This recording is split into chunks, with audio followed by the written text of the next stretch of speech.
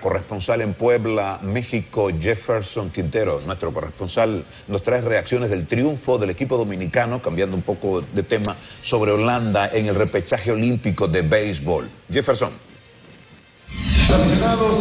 Amigos, importante victoria de la República Dominicana sobre los Países Bajos y estamos con Juan Núñez, presidente de la Federación Dominicana de Béisbol. ¿Qué trabajo se ha hecho para lograr la primera parte del objetivo?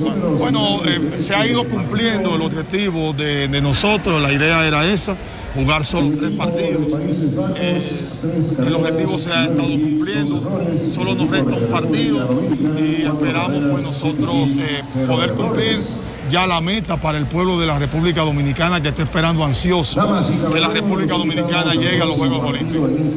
Precisamente hablar de eso, de cómo se ha tenido que ensamblar esta selección, ha sido un trabajo arduo con mucha gente involucrada. No, no ha sido fácil tenemos un gran gerente general, José Gómez, con él un gran equipo de trabajo de la federación y de los eh, equipos del fútbol de invierno de la República Dominicana. Todo el mundo está involucrado en la República Dominicana para tener un equipo como el que hemos tenido y, quiero eh, dar las gracias a los empresarios de la República Dominicana que, se, pusieron en eso. Con el señor Felipe Vicini a la cabeza han estado trabajando y ayudándonos económicamente y, quiero agradecerle a él agradecerle a todos los eh, funcionarios, al ministro de Deportes, Francisco Camacho, a nuestro presidente del Comité Olímpico, Antonio Acosta, eh, siempre activo, siempre con nosotros. A toda la República Dominicana en sí, que han estado empujando para que la República Dominicana llegue a los Juegos Olímpicos. Juan Núñez, presidente de la Federación Dominicana de Béisbol con nosotros.